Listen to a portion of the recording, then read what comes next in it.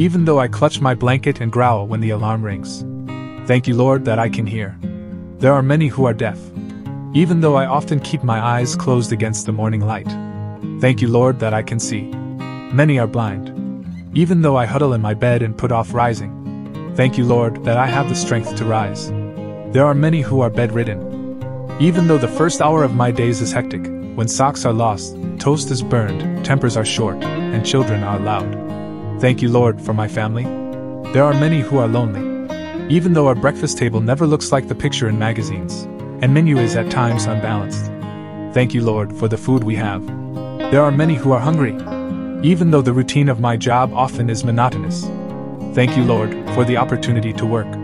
There are many who have no job, even though I crumble and bemoan my fate from day to day, and wish my circumstances were not so modest. Thank you, Lord, for the gift of life.